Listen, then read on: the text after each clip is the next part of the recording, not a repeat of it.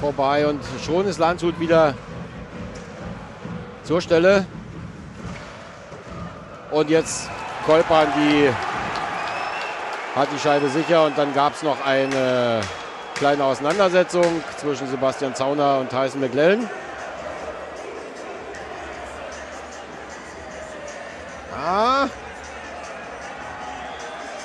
Ja, ich denke mal, es war eine unnötige Aktion von Zauner. Ja, da, wenn es jetzt keine Strafe gibt, da hat er ein bisschen Glück, der Sebastian Zauner.